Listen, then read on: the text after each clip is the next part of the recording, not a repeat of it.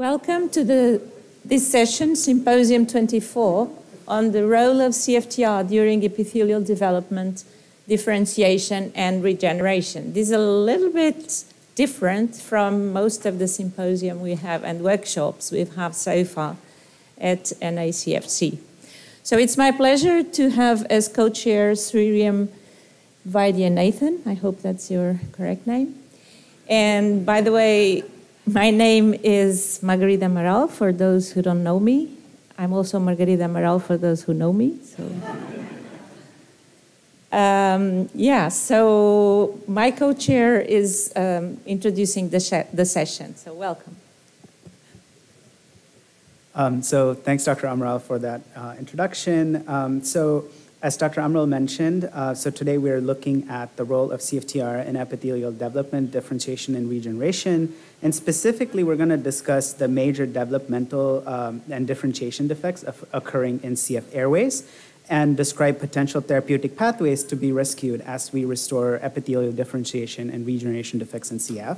And then we'll, I, we'll try to identify alterations in the epithelial cell composition resulting from the absence of functional CFTR. So those are our educational objectives. Uh, and then I'll give the mic back to Dr. Amaral to introduce the first speaker. Yeah.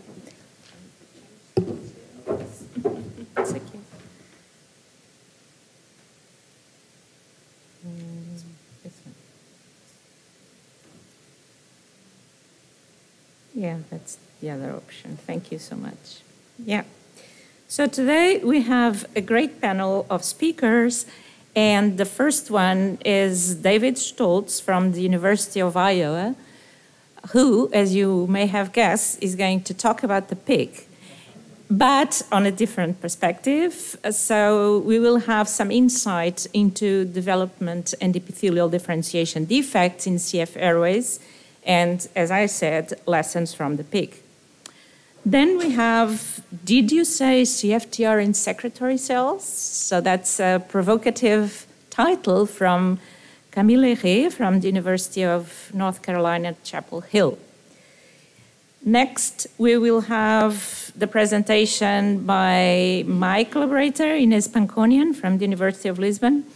And Ines is going to tell you about the identification of genes restoring the CF regeneration defect. And last but not the least, we'll have Eszter Vladar, who's going to talk about from the University of Colorado Anschutz Medical Campus in Aurora. And uh, Eszter is going to talk about characterization of airway epithelial differentiation in response to restored CFTR function. And um, as it has happened in our other sessions here, uh, we will leave the questions to the end, where all speakers will come to the floor so that we have perhaps a more comprehensive and overall discussion about all the topics. So without further ado, I call David to the stage, to the floor, and I hope I can help you with the presentation opening. I guess that's it. So I've got some human data too. I hope that's okay. Oh, that's All right. so, good morning, everybody. Uh, and I'm grateful for the, the invitation to present this morning and grateful for everyone here today. Um, I would first like to start with a.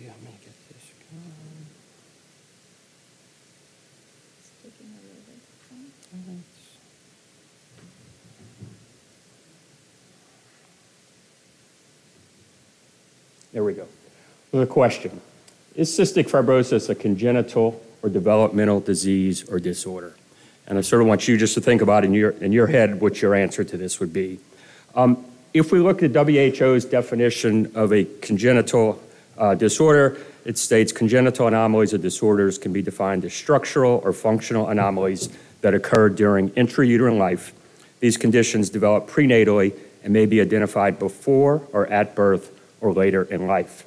And I would argue that CF, if we think about the many different organs that are affected, we could think about CF as a developmental disorder.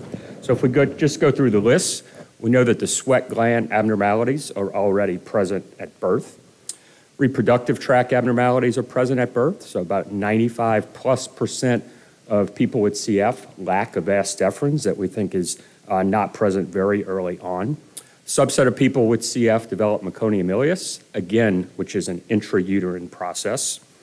The majority of kids who have pancreatic exocrine insufficiency have that already when they're born. A subset of kids with CF are born with liver disease, specifically focal biliary cirrhosis. And I think the big question is, are the airways abnormal at birth? And what I'd like to do in the next 20 minutes or so is to give you some evidence that I think they are abnormal in birth and to at least um, ask you to consider this um, as a possibility. So if I took 100 pulmonologists and asked them a simple question, is the CF lung normal at birth? I think the vast majority of them would say yes, it is normal, and five saying no may even be an overestimate, to be honest. But really, what I think the, the answer to that question is I don't know. I don't think we know whether or not the CF lung is normal at birth or not. So, my talk, I'm going to go over four areas. First, I'm going to describe to you some airway abnormal, developmental abnormalities that are present at birth in CF pigs. Second, I'm going to show you some examples of similar findings that are observed in people with CF.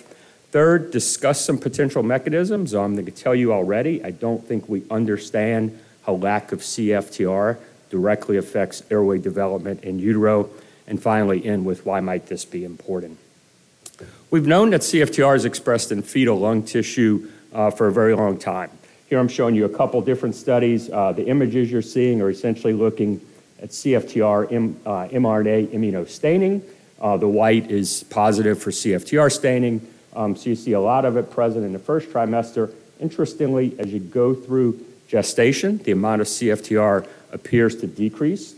Here's some additional immunostaining of human lungs at 18 weeks. You can see some CFTR present in the fetal lung and a similar staining pattern at 11 and a half weeks. The other thing we know is that it appears that CFTR sort of peaks early during gestation and then comes down over time.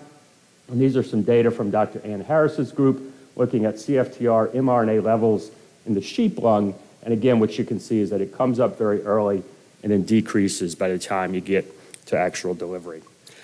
We became interested in this area because one of the first things we noticed with the first litters of CF pigs was that their tracheas were abnormal. And we noticed this because we took the lungs and the trachea out of the animals, put a catheter in to lavage the lungs, and actually the catheter was sort of tight where it wasn't tight in the non CF. And so here's an example of a, a trachea from a newborn uh, non CF pig on the top, CF pig on the bottom. And one of the most striking things is that the caliber of the trachea is significantly redu- reduced in a CF newborn pig compared to a non CF. We went on to quantify this using a CAT scanner. And so here I'm showing you an example slice from a non-CF um, newborn pig lung, a CF pig lung, and essentially quantified how big the trachea was. And so here on the y-axis, I'm showing you airway area in millimeters squared, non-CF in blue, CF in orange, and what you could really appreciate is that the uh, diameter or the area of the newborn CF trachea is significantly reduced. The other thing we noticed is that these tracheas were irregularly shaped. And so here again are these, these same slices, and what we did was quantify something called circularity. So a, a shape that essentially resembles a perfect circle would have a value of one. Anything less circular has a smaller number. And what you can see when we quantify this is that the CF newborn tracheas were less circular or more irregularly shaped compared to the littermate non-CF controls. The third thing we noticed was that the cartilage was abnormally shaped and developed. So here I'm showing you images that were taken with optical coherence tomography, where we put an imaging catheter down the middle of the trachea, reconstructed the images, and what you're seeing is the tracheal rings from a non-CF and a CF newborn pig.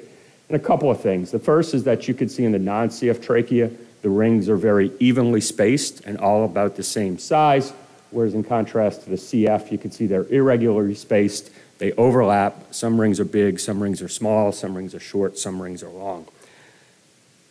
We didn't really know that this happened in CF and actually went back and looked at the literature after our first litter of CF pigs were born. And back in 2008, similar tracheal abnormalities had been reported in CF mice. And so I'm just showing you two examples. The first here, you can see these abnormal tracheal cartilage rings, similar to what we saw in the pig. And then they also have this subglottic stenosis where the trachea has this, this narrowing present. Developmental abnormalities have also been reported in the CF sheep and the CF uh, rat in terms of number of submucosal glands, size of submucosal glands, etc. So we first asked how far down the airway tree uh, is the airway size reduced? And so to do this, again, we went back to our CT scan images. So here's an example reconstruction. Here's the trachea, right main stem bronchus, left main stem bronchus. And we're going to go down the length of the right main stem bronchus and see is it smaller along the whole way, denoting each segment by a number here. And so again, area uh, of the airway on the y-axis, and as we go down the right main stem bronchus, you can see it's segment number one, right at the carina. It's significantly reduced.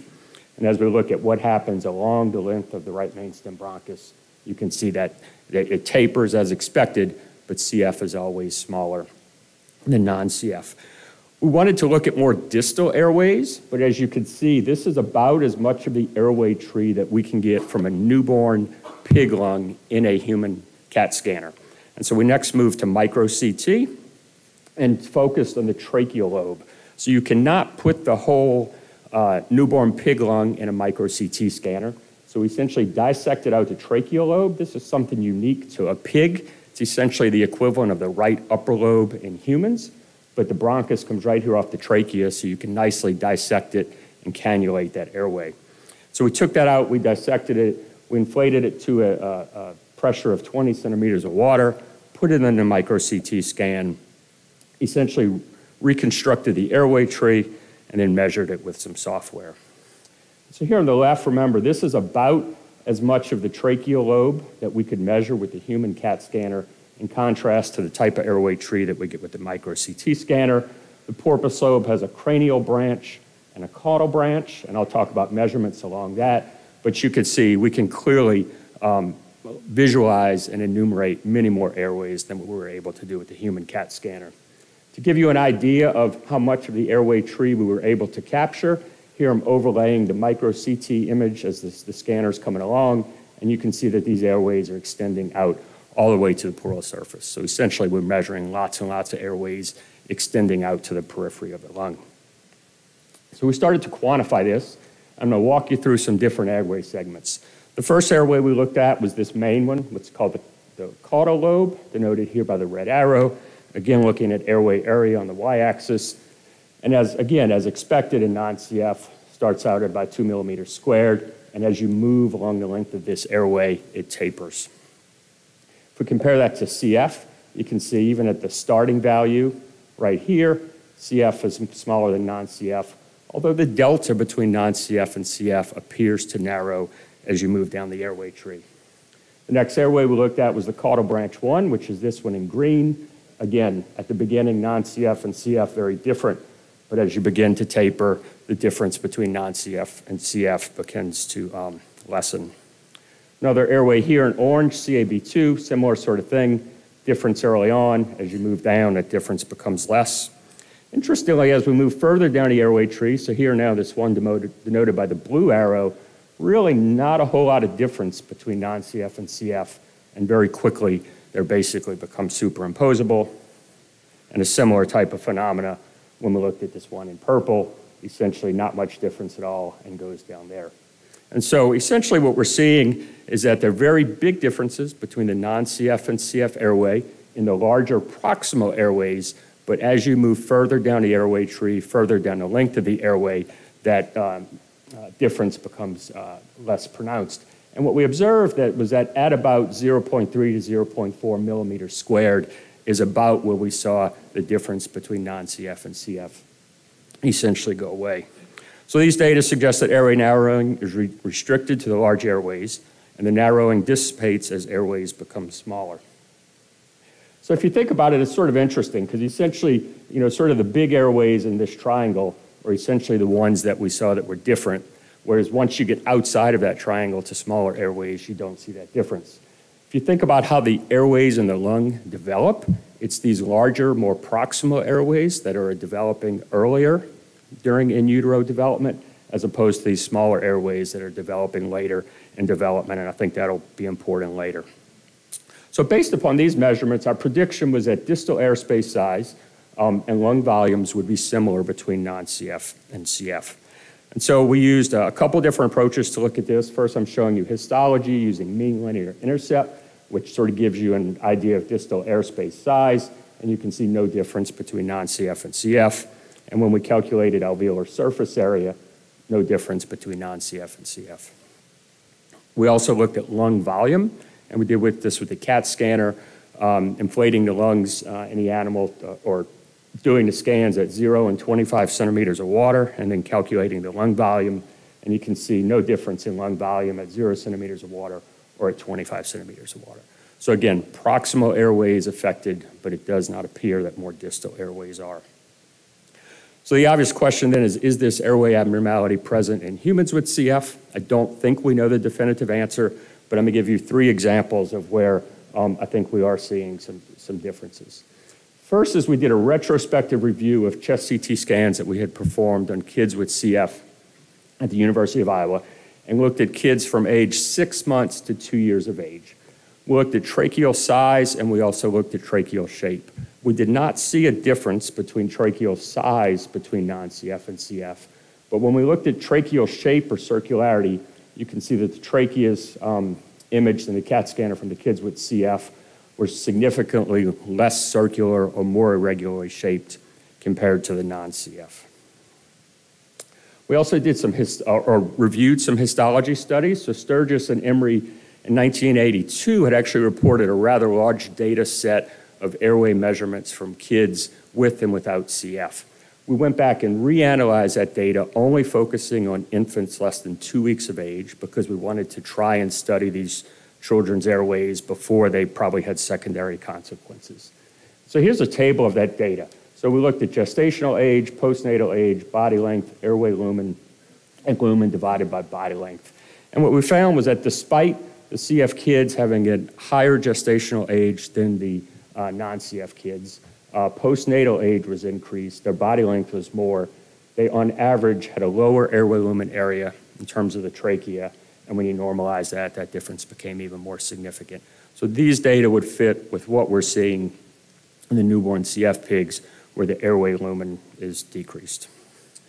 The, the third bit of uh, information came from a study that Tony Fischer did, and uh, similar findings have now been reported by a couple other groups, where Tony went back and retrospectively reviewed all the bronchoscopic reports from kids who had been uh, cared for at the University of Iowa over a, a probably a 10 year period or so. Um, he looked at 97 kids. The median age on the bronchoscopy was 15 months, so presumably before a lot of whole lot of secondary changes um, have occurred. And he essentially asked a, a simple question: Was tracheomalacia present or not? Which is essentially abnormal collapse of the airway. And what Tony found was that in children with CF, uh, 15% of kids had tracheomalacia present. If you compare that to a normal pediatric population, the rate is about 1 in 2100 or about 0.05%. And so these data would suggest that kids with CF had increased rates of tracheomalacia. So what did this look like? So here's some bronchoscopic images looking down at the, the anterior, posterior, left mainstem bronchus, right mainstem bronchus, and the carina. And you can see basically they were, these are screenshots from as the child was inspiring. And you know, normally the airways should stay pretty open and patent, but you can see this image here where the posterior trachea really collapses towards the anterior, consistent with this tracheomalacia diagnosis. Tony also had some CT scans on, on some of these kids and reconstructed the airway, and here's a, a, a reconstruction of the trachea, and you can see it's very abnormally shaped and collapsible compared to what we would, would typically think about. So did it matter if these kids had tracheomalacia? So if you look at their starting FEV1, it was significantly reduced, so 95% versus 114%.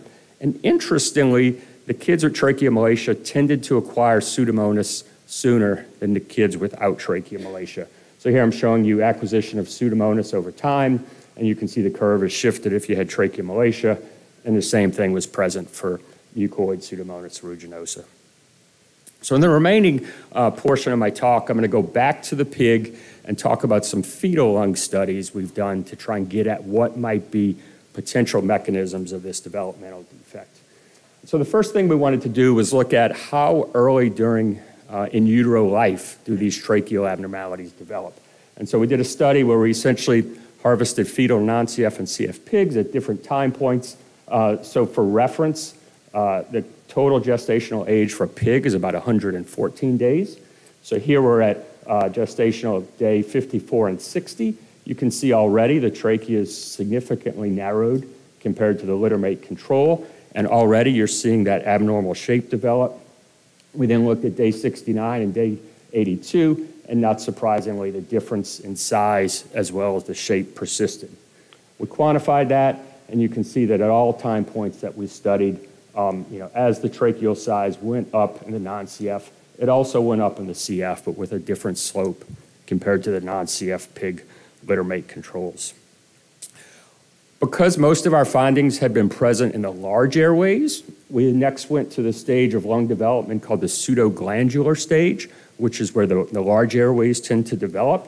And so here I'm showing you histology where we, uh, this would be sort of the early pseudoglandular stage in a pig, day 36, extended it out to day 60, compared non-CF to CF. Essentially took these histology slides and quantified every airway that was in the image um, and put it all together. And what you can see is at day 36, uh, we saw a significant reduction in airway size. This difference persisted at day 41, although interestingly, as more and more airways developed and more and more small airways were represented out of the total airway population, the difference essentially um, went away. We were very curious in terms of when is CFTR expressed in the fetal lung. And so here I'm showing you some, some really nice uh, stains that Dave Meyerholz did. So again, we're back still at the pseudoglandular stage when the large airways are developing. Here's an airway lumen. At day 36, Dave has stained uh, with an antibody for CFTR in brown. I'm going to blow that up. You can see very robust staining along the uh, surface of, of nearly all of the airway epithelial cells. Importantly, we have the control to show that this is specific staining for CFTR. As we go through the pseudoglandular stage development, you can see we get persistent of CFTR staining continues, although it may be less than what we saw in the earlier stages. Interestingly, if you blow this up, you see this really nice spatial distribution of CFTR that's present on the leading edge of this airway as it's budding and develops, and you don't really see any CFTR staining on the backside of that airway. We saw a similar thing as you move up. Here the airway has branched in two, and again, you almost exclusively see CFTR staining on the leading edge of this budding airway and no CFTR more distally to that site. By day 90, and now we're looking at sort of smaller airways here, essentially all of that CFTR expression um, has gone away. And again, really nice control with the CF, and of course, no CFTR staining. Interestingly, if, if you look at um, you know, sort of how the lungs develop, how lung budding happens, this is where a lot of the action is, where these FGF10 positive progenitor cells are, and you have a gradient of different factors along the length of this budding airway. And we stained for FGF10, um, and these brown cells right here are FGF10 positive cells. And so nice localization between where CFTR is expressing and where these FGF10 cells are. I don't have time to show you the data, but when we add FGF um, to airway cultures, it increases both CFTR expression as well as CFTR-mediated chloride and bicarbonate transport. So it looks like there could be an interaction between FGF and CFTR. To sort of further explore the mechanisms, people have done some uh, earlier work um, using human as well as some other species fetal lungs and looking at liquid secretion.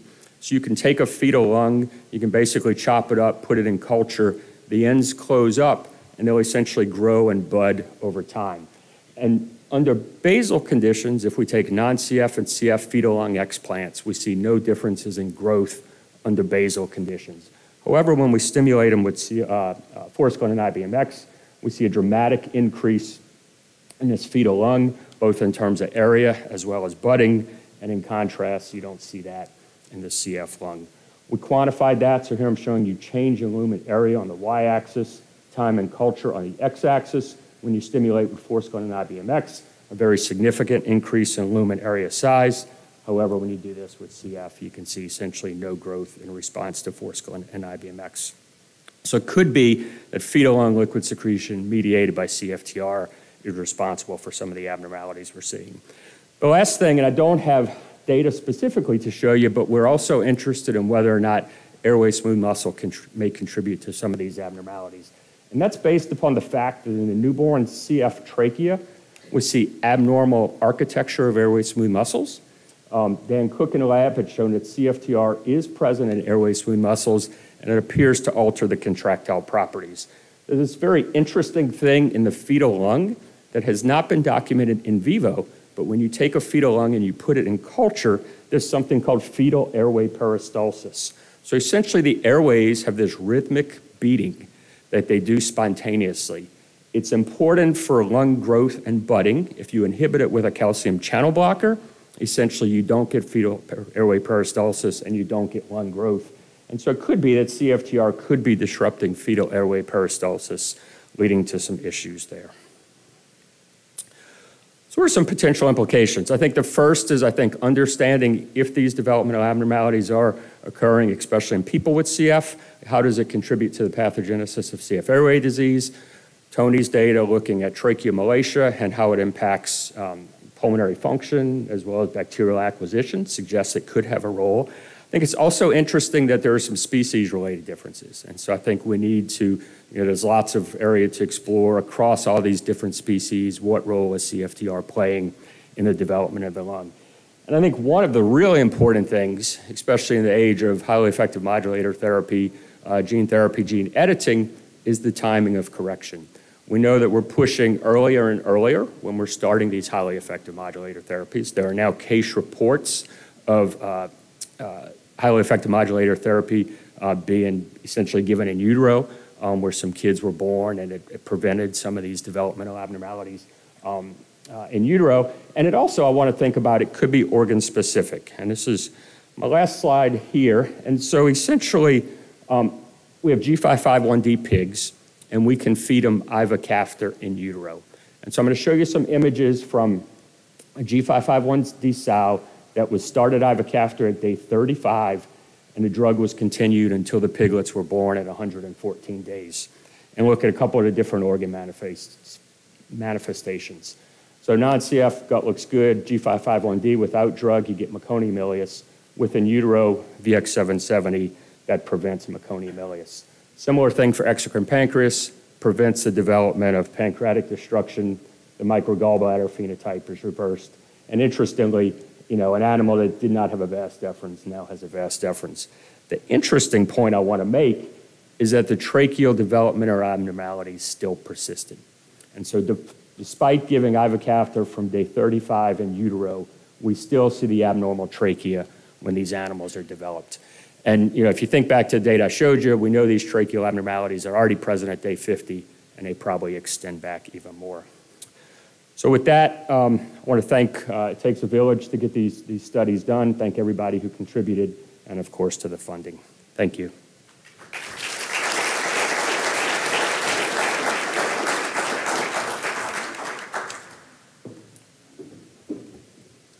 Um, thanks, Dr. Stoltz. So we'll move on to our next speaker, Dr. Uh, Camille Ehre. Um, and she's going to be talking about uh, CFTR function in secretory cells. Hello, everyone. Oh, yeah. Thank you. So today we're going to talk about CFTR and secretory cells uh, and how they are related.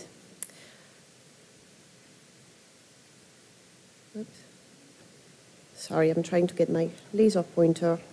I have no disclosures uh, for this talk. Uh, the CF Cystic Fibrosis Foundation uh, talked about the path to a cure as being not a straight line. There are many routes that we can achieve this cure for cystic fibrosis.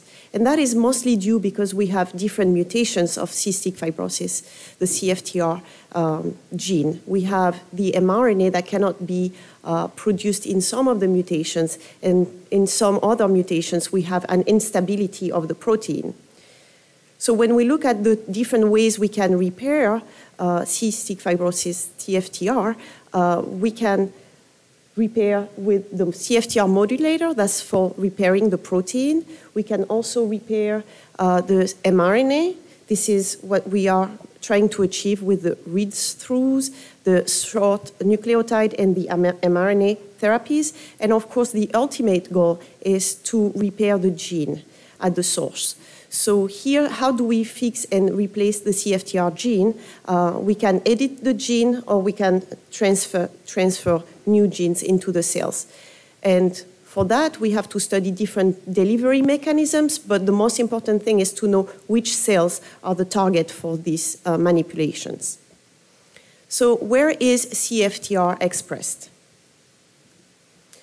There is old literature uh, done with mostly immunohistochemistry there are two different groups. There is the group that says that CFTR is in non-ciliated cells. So here is from uh, John Engelhardt and uh, Le Semple, uh, two papers that were published in the 1990s and early 2000s uh, that described those hot cells that were not ciliated.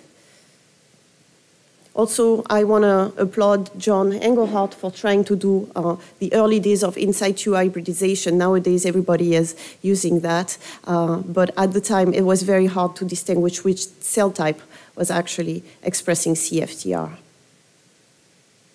We have the other group that uh, showed that CFTR was expressed in ciliated cells. And those were nice pictures showing that we had a nice correlation of ciliated cells with an apical signal of the CFTR protein. So I invite you to look at poster 6, 676. Nowadays, we have improved the way we fix the tissue. We do epitope retrieval. We had a broader range of CFTR uh, antibodies, and everybody agrees that it seems like CFTR is not expressed in ciliated cells nowadays. But at the time, it slowed down a little bit the research as we were trying to find viruses that could deliver this gene into the cells. So we used viruses like para, para-influenza viruses that were genetically modified to have the green fluorescent protein and CFTR to transfect because they had a tropism for ciliated cells, like most of the respiratory viruses. And you can see here that these cells doubly transfected in green and red are, have a nicely response to uh, forskolin uh, as bioelectrics are measured. The same is true with RSV that was also used. It has a ciliated cell tropism, and then those transfected cultures also responded nicely to forskolin. So now that we know that probably with immunohistochemistry we have suggestion that it's not in the, uh, in the ciliated cells, let's go back to a very powerful uh, tool, which is single-cell RNA-seq. So when we go into uh, single cell RNA-seq, we can distinguish different cell types. We can discover new cell types, like ionocytes, for instance, and we can tell what cells express what protein or mRNA. So here I'm showing you uh, the, the UMAP uh, obtained by uh, Dr. Okuda from UNC and other institutions like Brigitte uh, Gompertz at UCLA have found very similar uh, findings. And you can see the ciliated cells in red. Here we have uh, the ionocytes, very small proportion of cells, about 1% of the cells are ionocytes. We have the basal cells in pink, blue, and uh, green.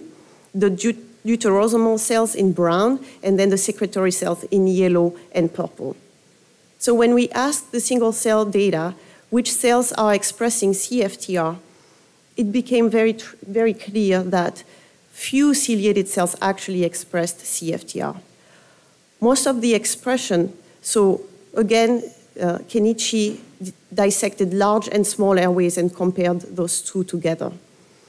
So you can see you have a large proportion of CFTR expressing cells that are in the ionocyte in the large airways, a little less in the small airways. You have a lot of secretory cells that are expressing CFTR, however, in the large and even more so in the small airways. The single cell data were combined with RNA scope. So one dot means one mRNA is expressed.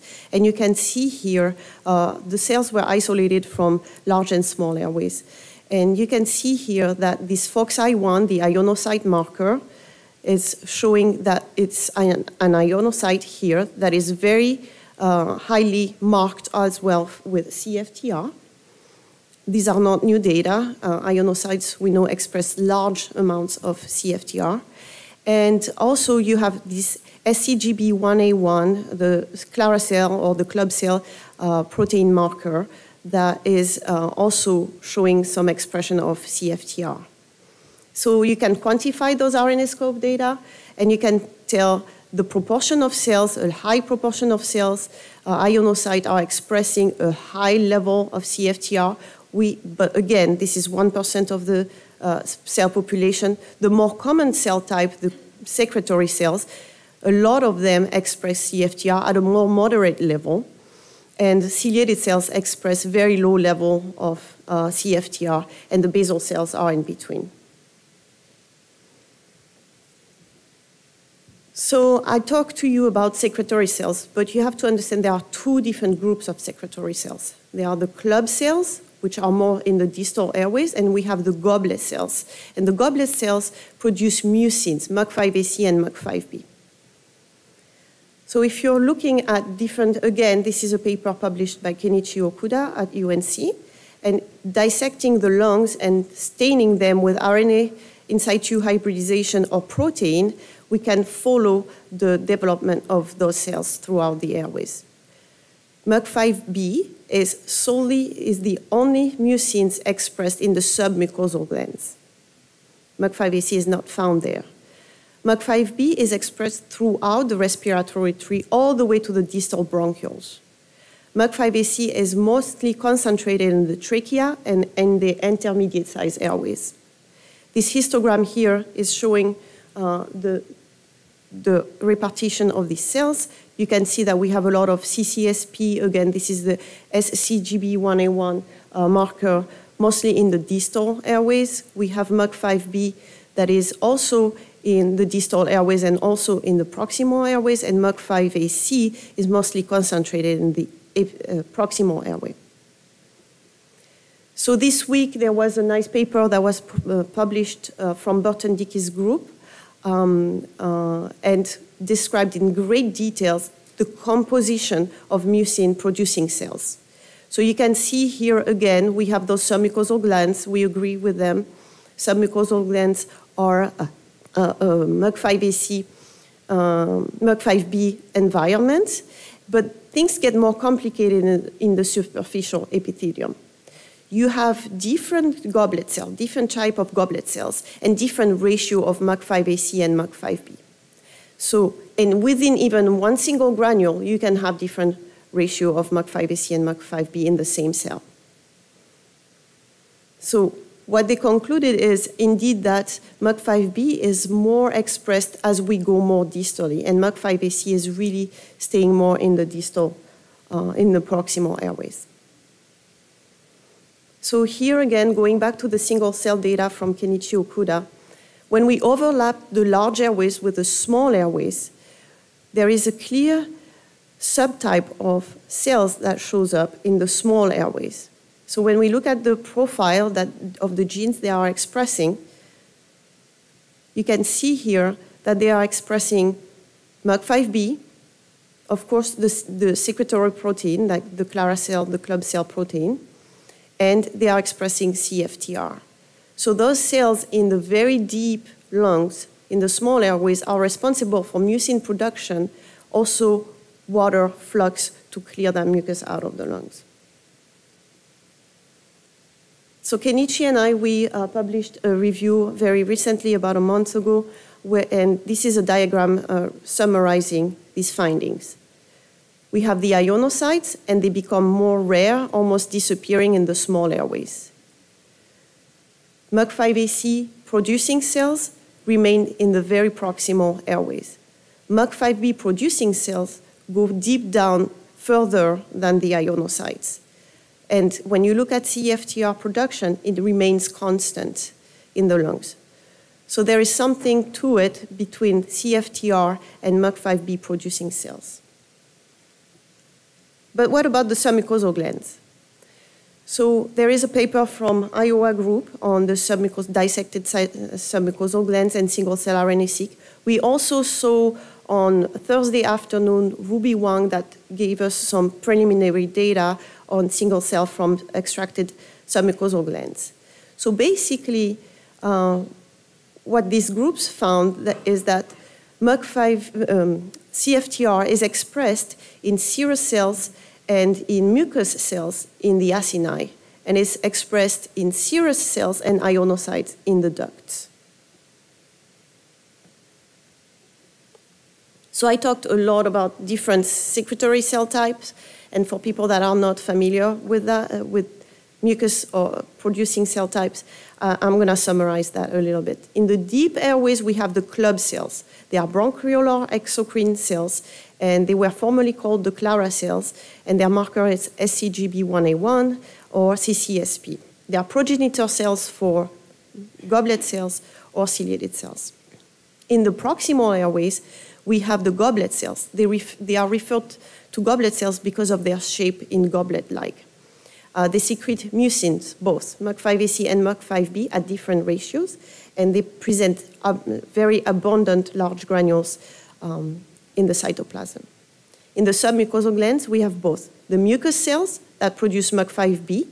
Uh, they are localized to the acini, and uh, they also present a lot of granules in the cytoplasm. And we have the serous cells, and those are spread through the um, the duct as well as the acini. Their marker is the DMBT1, and they secrete glycoprotein and antimicrobials. So the fact that most secretory cells express CFTR, there must be a biological link to that. And we also know since the 1960s that CF is actually a mucus disease. In other countries, it's actually called the muco mucoviscidosis. So we have thick mucus in different part of the body. All mucin-producing organs are affected in CF. We have the small airways, the submucosal glands, we have the crypt eh, in the, the intestinal crypt, in the GI tract, the pancreatic ducts, and even the genital tract is impacted in both females and males. So what is that link how can CFTR being mutated in secretory cells impact mucus? There are many hypotheses about that. But here I'm going to try to very briefly summarize a very complex topic. Uh, so we have CFTR in normal airways that pumps chloride and bicarbonate out to the surface and downregulate the ENaC sodium channel. The, when mucins are produced into the airway surface layer, it becomes hydrated and expanded. It forms a loose mucus layer and it can be transported out of the lungs. In the absence of CFTR function, we have a dehydration, a concentration of the mucus. Now the mucins are becoming entangled. Also, the lack of bicarbonate can compromise the expansion of those mucins from the granule to the external milieu. Uh, and also, lower pH can create increased electrostatic interactions, can create reactive oxygen species, and can also, because we have a lot of uh, contact due to the proximity of, of the polymers, we can create increased number of interactions in the mucus layer. So we suspect that all of this can be playing a role in CF. But again, if you paid attention in the first part of my talk, I told you that CFTR was in goblet cells. And now I'm putting the drawing and it's ciliated cells. That's because it was written in 2019. And we learned so much since then that, you know, science is finding the truth. Uh, when science changed its opinion, it did not lie to you, it learned more. And I like this quote. so, uh, and the Iowa group uh, studied the pig uh, and noticed that the pig had problems with clearance, especially in the trachea, even if they were submerged in media.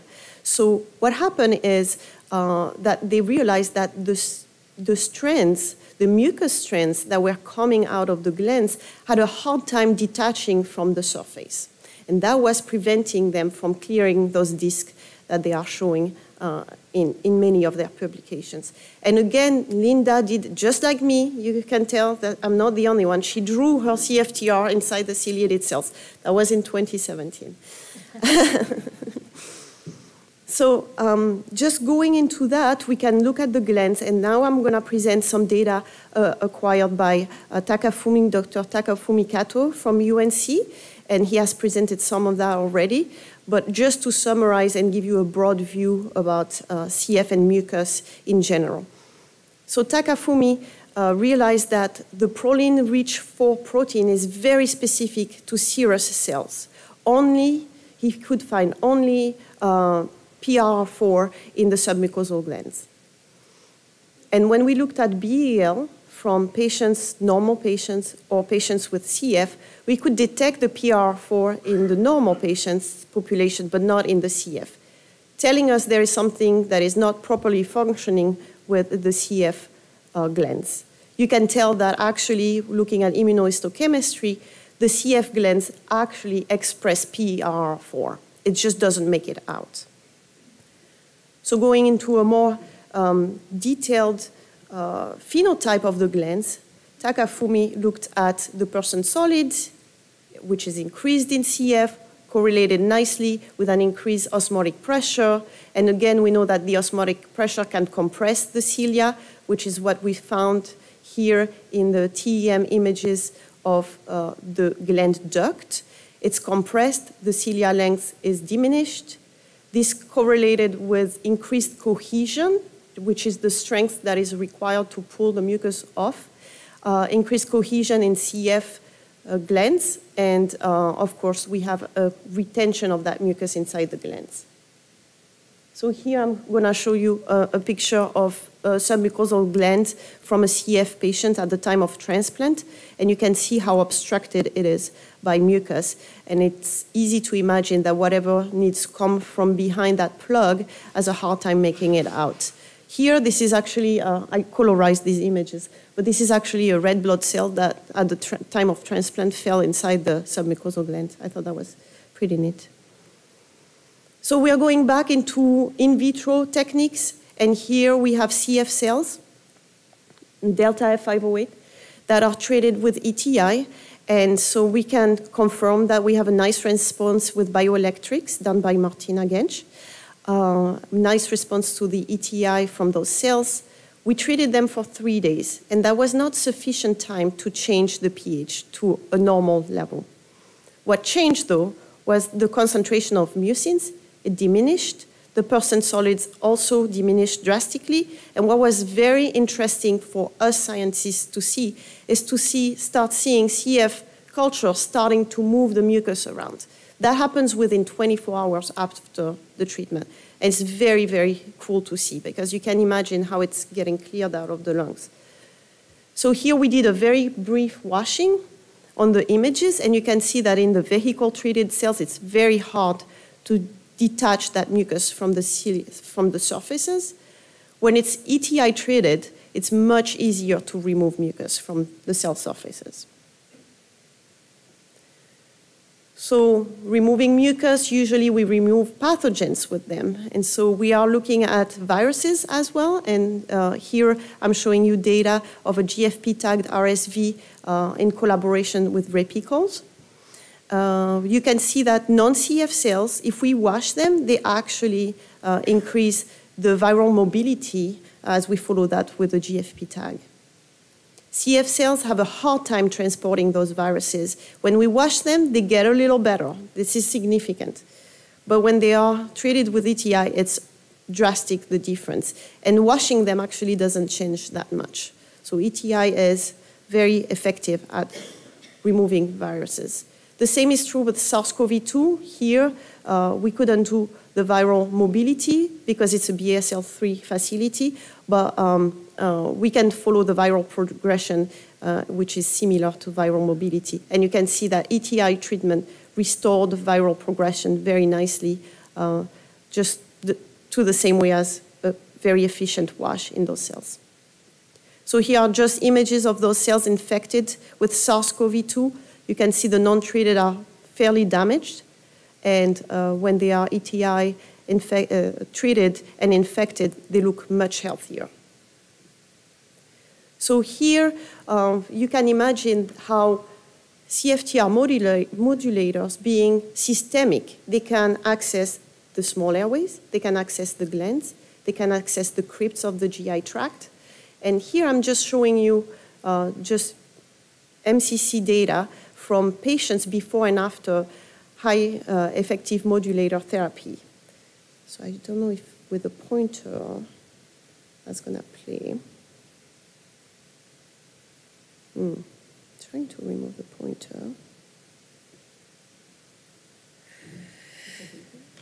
Okay. I'm not sure. Okay.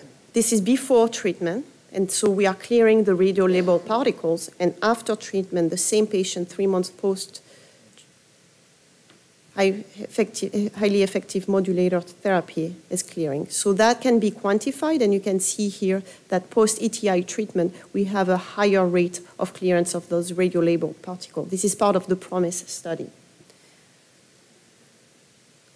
So in conclusion, the single cell RNA-seq revealed not only ionocyte, but uh, the fact that secretory cells that are very common cell type in the lungs express high level of CFTR. Although this uh, cell type is common in the lungs, secretory cells present a high degree of heterogeneity. We have the club cells, we have the serous cells, we have the mucus cells, and we have the goblet cells. So this is food for thoughts for gene uh, therapy. So given the close relationship between ion fluxes and mucus properties, CFTR genetic manipulation of secretory cells may be required for proper secretion, expansion, and maturation of mucins. Gene editing and gene transfer targeting secretory cells may be challenging due to the intricate access, especially if you're talking about acini in the submucosal glands.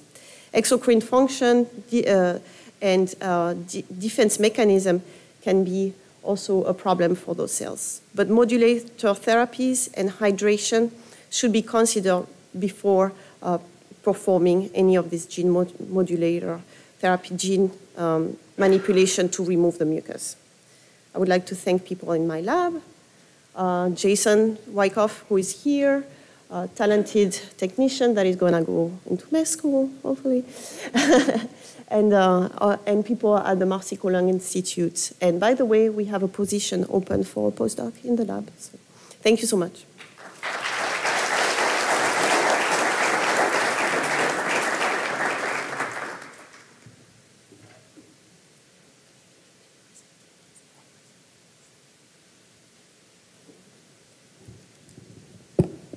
So our next speaker is Dr. Ines Pankonian. Um, and she's going to be talking about um, CFTR regeneration defect.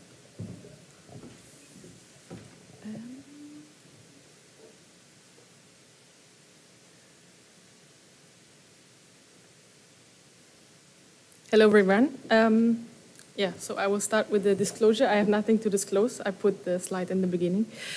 Um, no, but first of all, I would like to um, thank the organizers for inviting me. I'm very grateful to be able to present my work here today. Um, yes, so.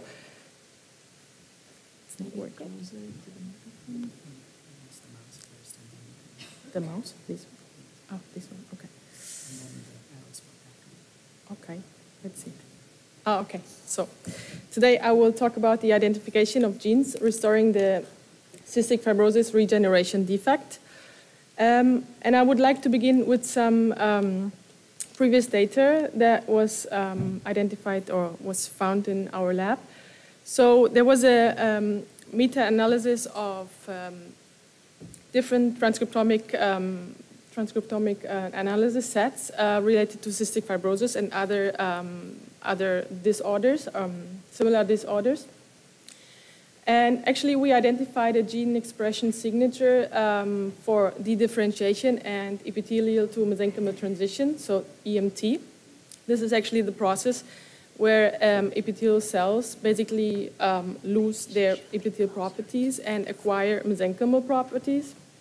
Um, oh, okay. Can you hear me better now? Okay.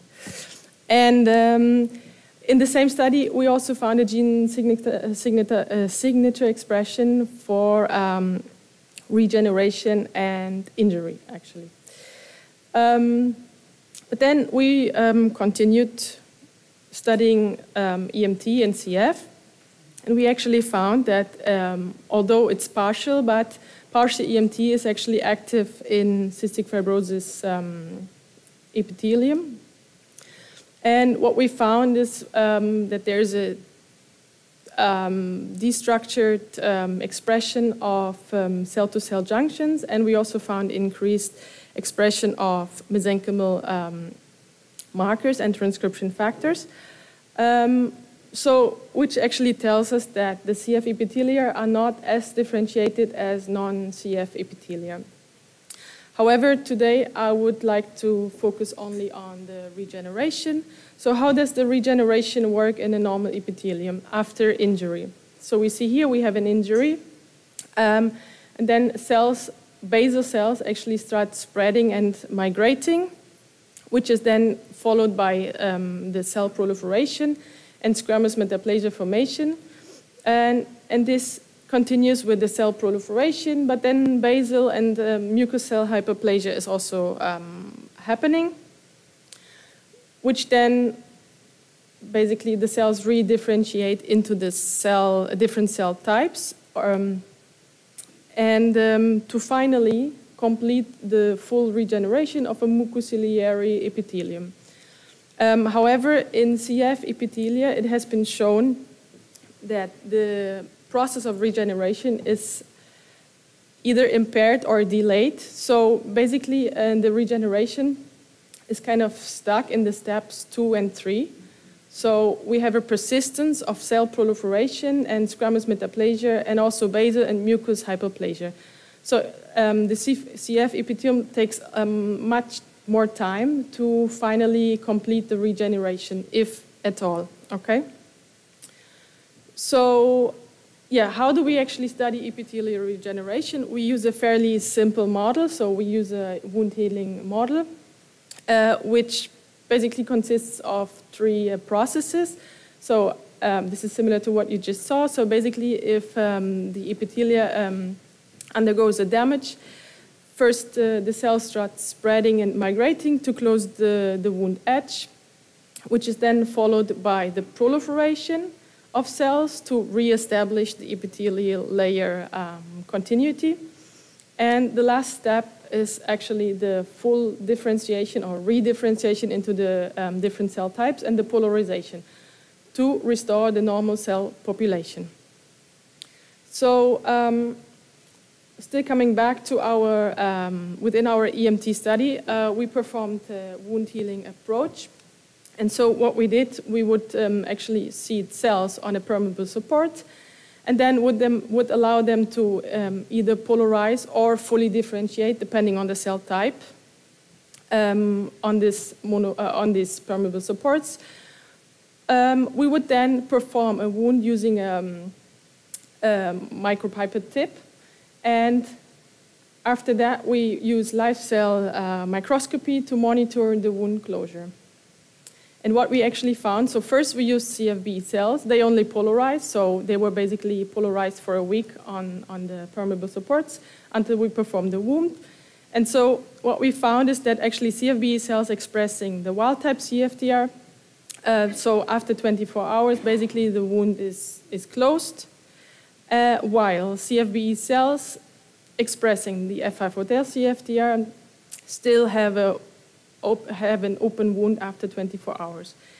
And of course, we wanted to compare this in, um, in, in, primary cells, so we used um, primary bronchial epithelial cells. So we have here uh, control cells from a control donor, and, and we also we have CF cells here, and we basically found the same that after 24 hours, the control cells, uh, the wound was already closed, while the CF cells still um, were in the process of closing the wound. So, um, yeah, so now we ask um, actually um, if CFTR maybe plays a role in this process of wound healing or regeneration. And for this, um, Ah, no, sorry, I was wrong. So, first of all, uh, we have already like a hint uh, what could be wrong in CF cells.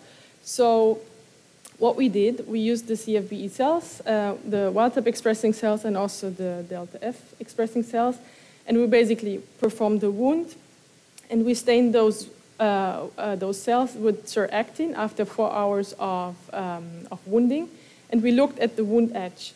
And in the wild type cells, you can see here nicely, um, nicely the formation of lamellipodia protrusions, which are necessary for the cells to migrate uh, into the wound gap. Okay. However, um, in CF cells, we could not see these nice for, um, protrusions, um, which actually suggests, or we actually yeah, hypothesize that probably those cells, they somehow lose the sense of direction. And that's why maybe, most likely, the migration is impaired in those cells. Now we ask the question, is CFTR actually related to this process or not? So for this, I would like to introduce um, a new, um, new basal airway cell line model that we are using. So these are they are called BCI NS1.1 cells. So these are basal cells, immortalized basal cells from a non-smoker, um, non-smoker. and they were actually developed in the Ron Crystal lab. And those cells, um, they, when we differentiate them on permeable supports, they are able to differentiate in all the multiple cell types. So here we have CC16, which is actually a marker for club cells, so secretory cells. We have ciliated cells, DNIR1, these are basal cells, P63. And they also produce mucus, as you can see here, MUC5AC staining. Um, this is the uh, quantification. I think it's important to say, I'm not showing it, but they also express ionocytes. So I think this is important uh, for yeah, nowadays studies. And more important, I even think that they uh, also express CFTR. So we stained those cells uh, when they were fully differentiated uh, with uh, CFTR antibodies. So we are using this MA, MAB 3480, and we co-stained it with beta-tubulin 4 for ciliated cells. And I think, I hope I can convince you that also we think uh, CFTR is not expressed in the ciliated cells. So we should uh, basically not draw CFTR in ciliated cells anymore. So I think this is very clear we have CF, uh, CFTR actually in other cell types. Which ones? Most likely the secretory cells. but we have not studied this yet. So, um, yes, so we use this cell model and we also perform the wound on these cells. So here you see day zero, we perform the wound. So these are like fully differentiated cells. So they, they uh, basically differentiated for roughly 30 days on the filter. We perform the wound and we um, used live cell microscopy to monitor the wound healing. And you see after one and three days, then the wound is closed. We also included day nine. Uh, and this was because we wanted to now um, check for the CFTR expression. As, and as you can see here, actually CFTR is increased during wound closure and even later on. So after nine days, most likely there's already a redifferentiation into other cell types, right? Because the wound is already closed for six days. And still, like CFTR increases. So um, this, of course, is not a direct link that CFTR is related, but it, it actually suggests that CFTR plays a role in wound healing and epithelial regeneration. And this brings us to the main aim of my research was to identify genes improving F508del CFTR traffic, but also um, affect the wound healing and regeneration. So for this, I have to explain you. Um, so a colleague of mine, Hugo Botelho, in our lab, he performed an F508del CFTR traffic screen. So he basically, this is not working. He basically used the CFTR construct um, tagged with mCherry and the flag tag to, in the end, basically to um, differentiate between total CFTR and to specifically have um, identify the CFTR with the flag tag that is expressed at the plasma membrane. And he performed this, um, this primary or this screen on an extended druggable genome siRNA library which contained like almost uh, 28,000 siRNAs. And this is what he um, actually got from his screen. So what we see here is the, the treatment, the siRNA, and the, and the z-score, which is uh, for the plasma membrane CFTR. So basically, these uh, siRNAs here are hits because when um, using these siRNAs, uh, more CFTR was seen at the plasma membrane. So he calls them enhancer siRNAs. He also identified inhibitors, but because, of course, we're interested in the enhancers, so we, he foc we focus on those ones. Here are some examples. I don't know, I'm not happy with this. Okay. Here are some examples. So here we have our control. Here we have total CFTR. And here he has some, um, like five examples of siRNAs. When he knocks them or when he uses them to target and knock the genes down, he sees that he can rescue F5 CFTR to the plasma membrane. So, and um, for my aim now, uh, we were then uh, checking um, th those hits, basically, using gene ontology enrichment analysis, and we identified that a quarter of these hits are actually related to cell migration, cell motility, and locomotion. So, which was another uh, evidence that there might be a link between CFTR and those processes. So what we now did, we used these siRNAs uh, to perform a new siRNA screen, so actually a high throughput wound healing siRNA screen. What we did is we um, used solid phase siRNA reverse transfection. So we basically coated the siRNAs on 96 well plates. We would seed F5ODL CFTR expressing CFBE cells, um, and we would let them grow for 72 hours for the transfection and also to reach um, basically a monolayer, because for wound healing studies, you need a monolayer. And then we um, also, in collaboration with the mechanical workshop and the advanced light microscopy facility at the EMBL in Heidelberg in Germany, we developed a wounding device that you can see here. Sorry, I will take this one. So we, we, we established this wounding device here that you can see.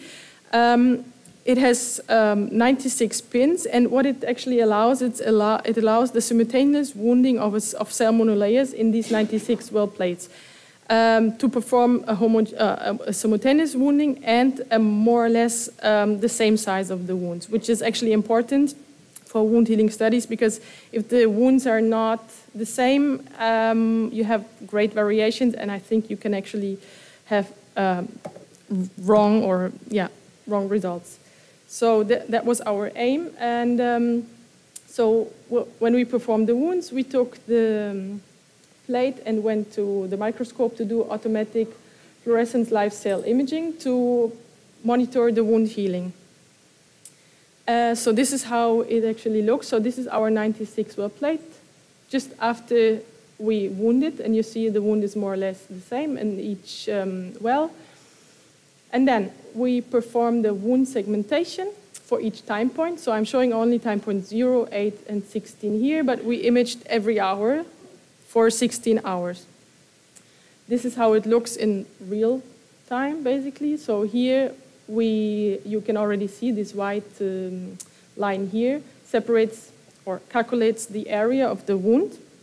And this is how what we get. So we can plot um, the area of the wound versus the time. And then for the, the linear regression, we basically get a slope, and the slope is representative of the um, wound closure speed, which can then be converted in a z-score, which is like an analysis for high throughput uh, screens.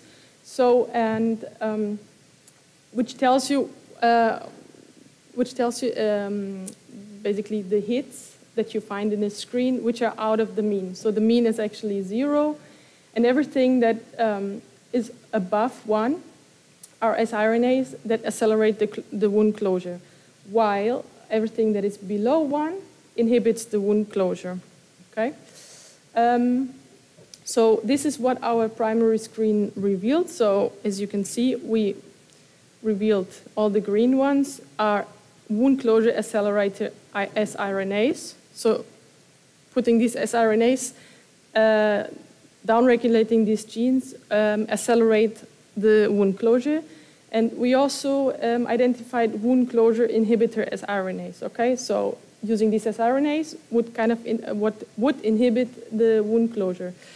And of course, since um, CF cells are delayed in wound closing, we actually want to improve it, right? So our interest is uh, actually in these accelerated siRNAs. So we took 20 of those, uh, like robust hits, uh, to further confirm in a second validation screen. So we performed the validation screen using distinct siRNAs. And um, so here you can see we identified, so we only see accelerator siRNAs. We identified nine siRNAs, which actually target eight genes, um, that accelerate the wound healing in F508del CFTR expressing cells. And um, here I'll show you some examples. So, so here you see time point 0, 8, and 16, and this is our negative control. So this is targeted against um, GFP, which of course shouldn't have any effect. Uh, our positive control using alpha-catenin increases um, the wound healing, and the other positive control is the SI-CD-C42, which impairs wound closure, what you can see here on the time point uh, 16 hours. So, and we also identified, so here are three examples of genes, uh, of siRNAs that accelerated the wound closure. Okay? And uh, yeah, these uh, siRNAs are targeting genes related to phosphatases or ion transporters, uh, but also cyclases. And um, yeah, with this, I would like to come to, to, to um, some preliminary data. It's very preliminary still, but uh, so as I told you in the beginning, the wound healing actually consists of two processes, at least the ones that we are studying here, proliferation and migration.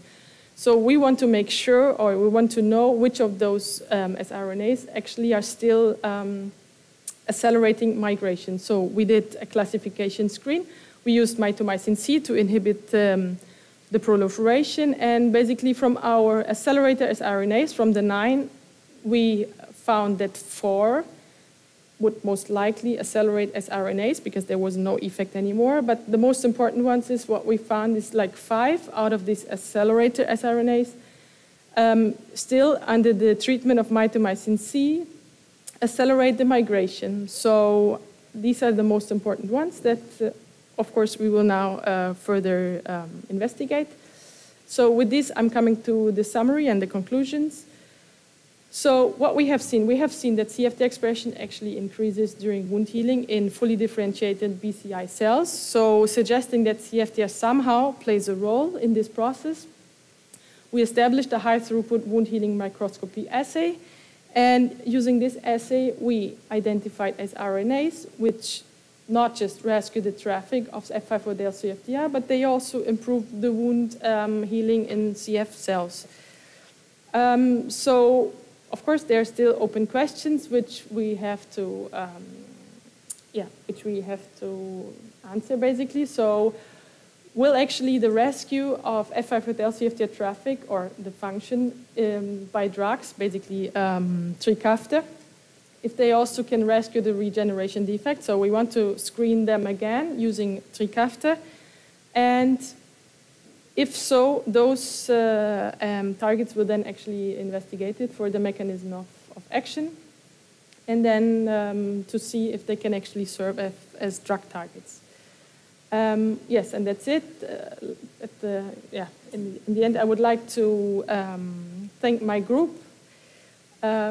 In Lisbon, actually, and uh, in particular Margarida Amaral, Margarida Quaresma, and Hugo Botelho for their support.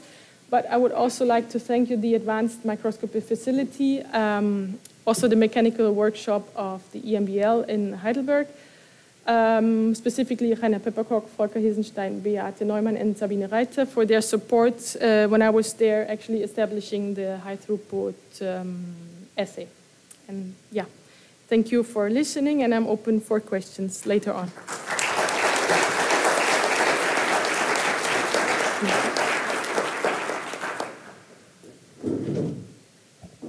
Thank you, Ines.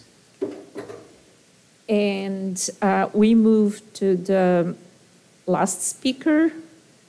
Sorry, this is taking. And last speaker is Eszter Vladar. And Eszter is going to talk about the characterization of airway epithelial differentiation in response to restored CFTR function.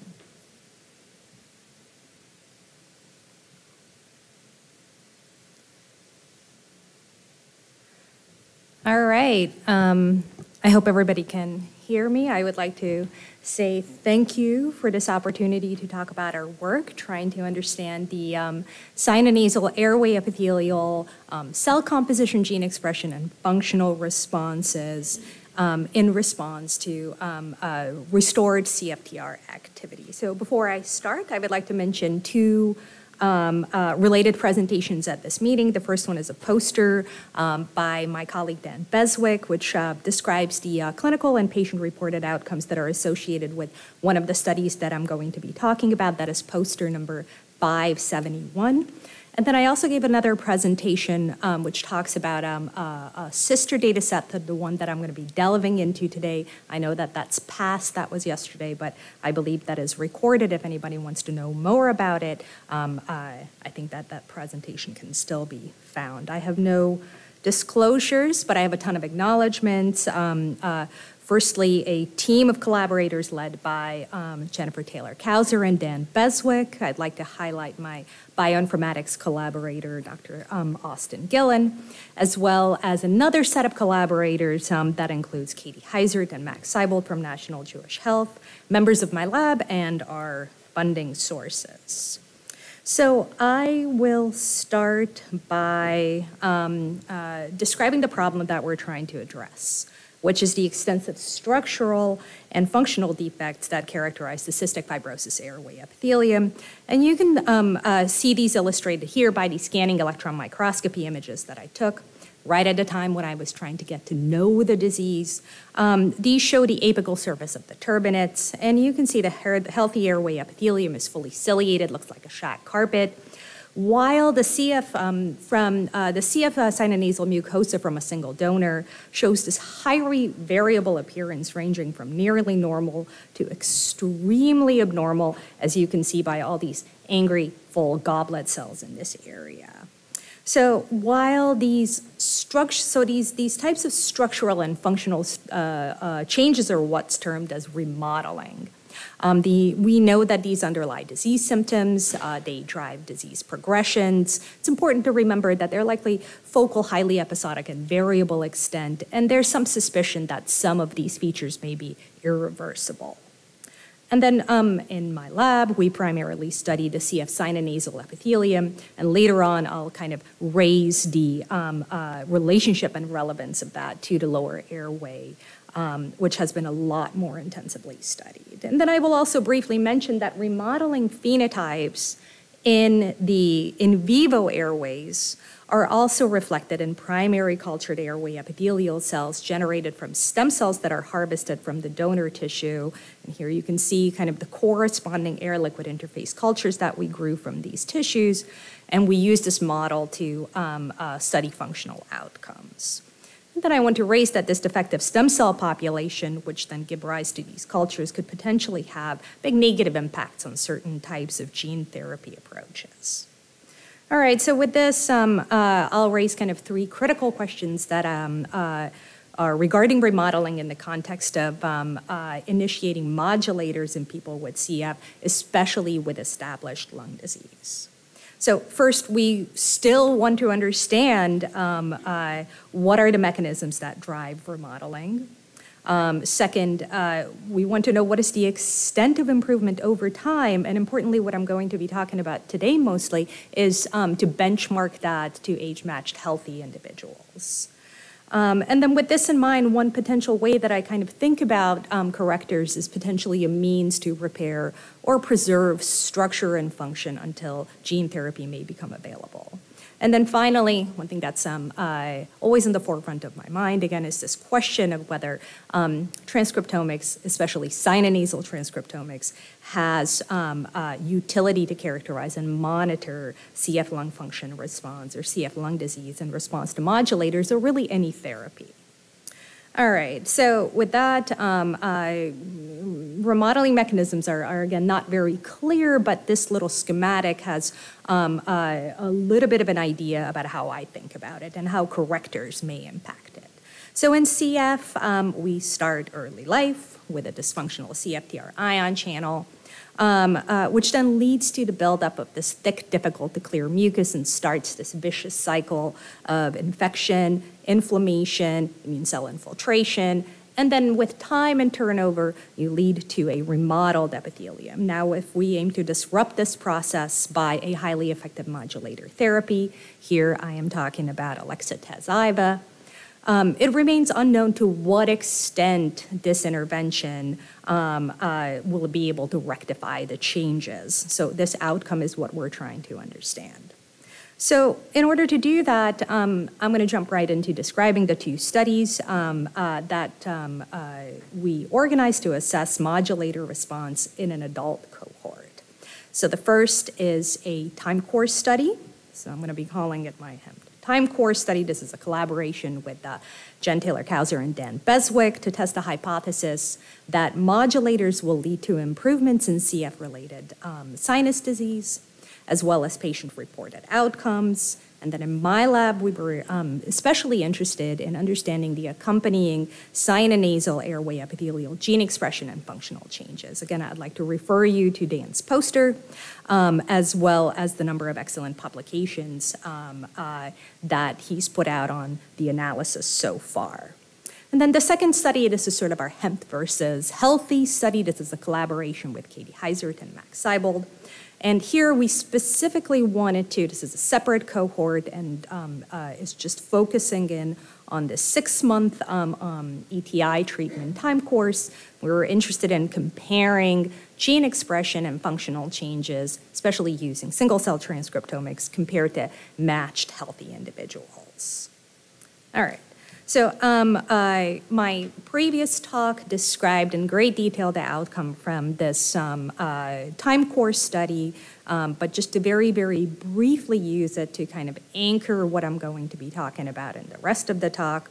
Um, in this study, we collected um, uh, from the sort of right nasal brushing um, uh, RNA and DNA um, we sampled at baseline, six month and two years, and we carried out bulk transcriptomic as well as microbiome um, analysis. And um, from the left nose, we used to isolate and expand airway epithelial cells for primary culture.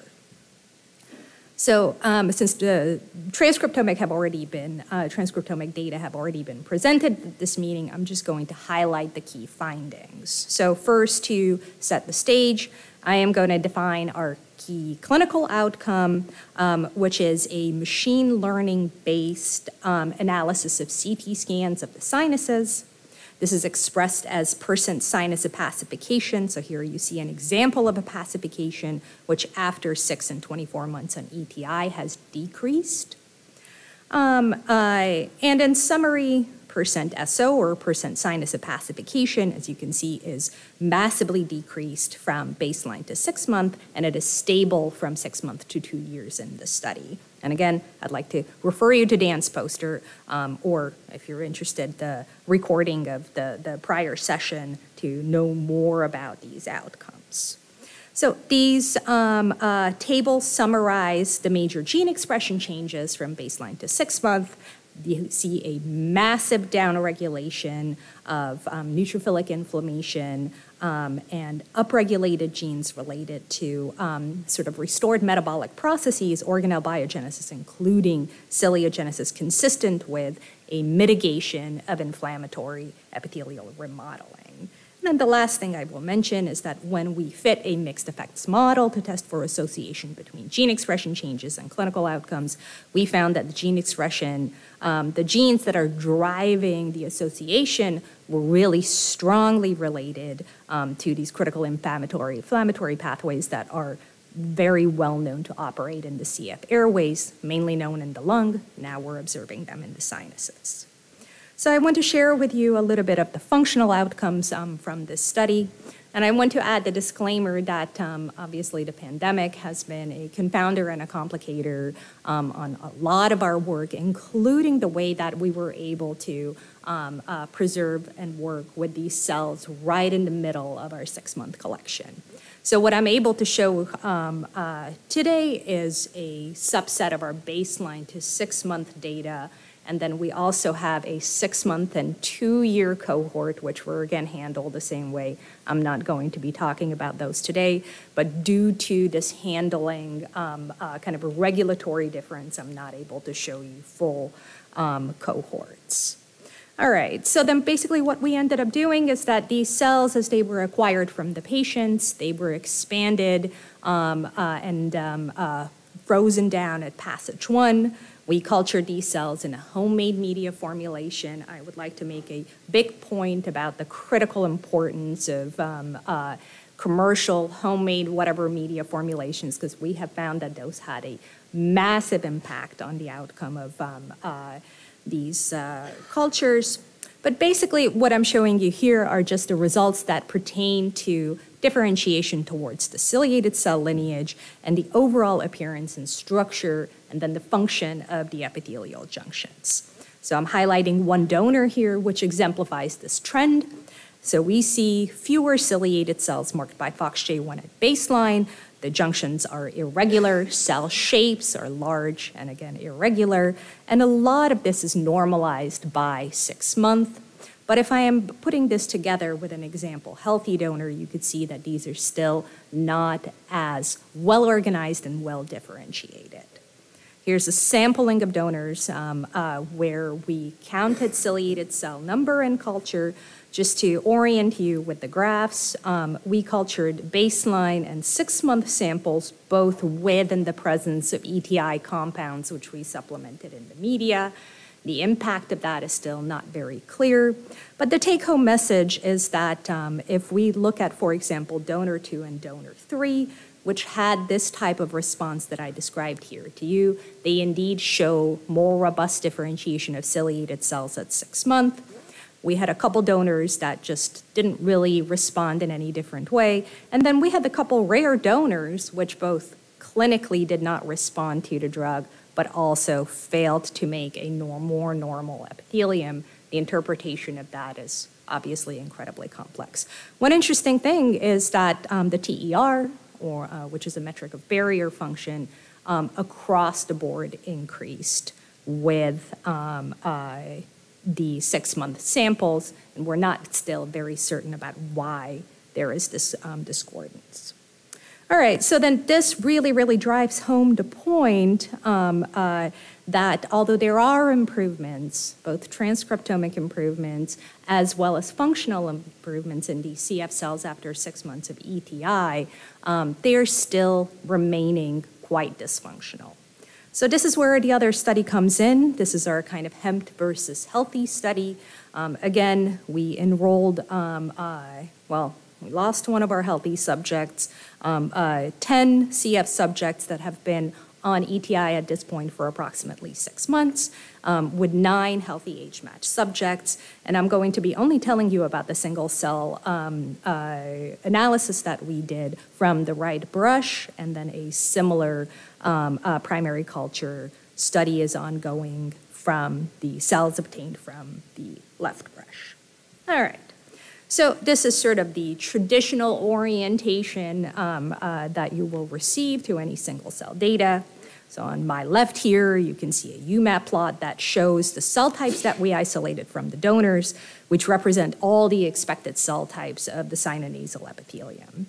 After QC, we were left with about 80,000 healthy NCF cells each, which are mostly made up of the epithelial cells um, uh, uh, that are expected, and about um, 11 to 18% immune cell types in the healthy versus CF, respectively.